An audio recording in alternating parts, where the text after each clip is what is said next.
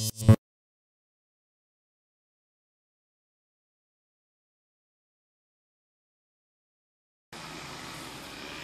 just go out and put them in the barn so they don't get wet.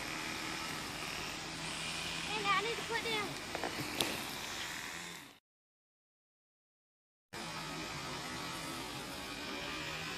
Then just go out and put them in the barn.